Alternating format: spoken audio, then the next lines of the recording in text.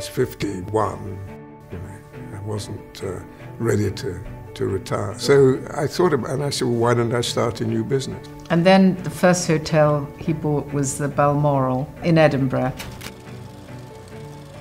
And so that was a really wonderful moment. I wanted to do hotels, luxury hotels, which, uh, which had a much friendlier approach to service. In a way, what my father and my aunt did 25 years ago with the philosophy of the business is still incredibly current. It was all about sense of place. Me and my sister, we all worked in the hotels growing up uh, in various different positions from sort of housekeeping to you know, I worked as a porter, I worked as a prep chef. But we've kind of we've grown up in the hotels.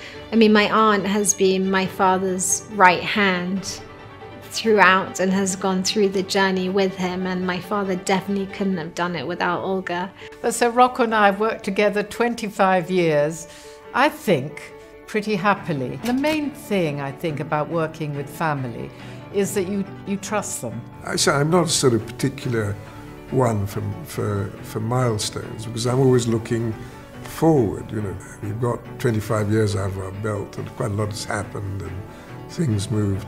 You know, there's a lot of changes through through that period of time. But it's the next 25 years that's more important to me than than the last.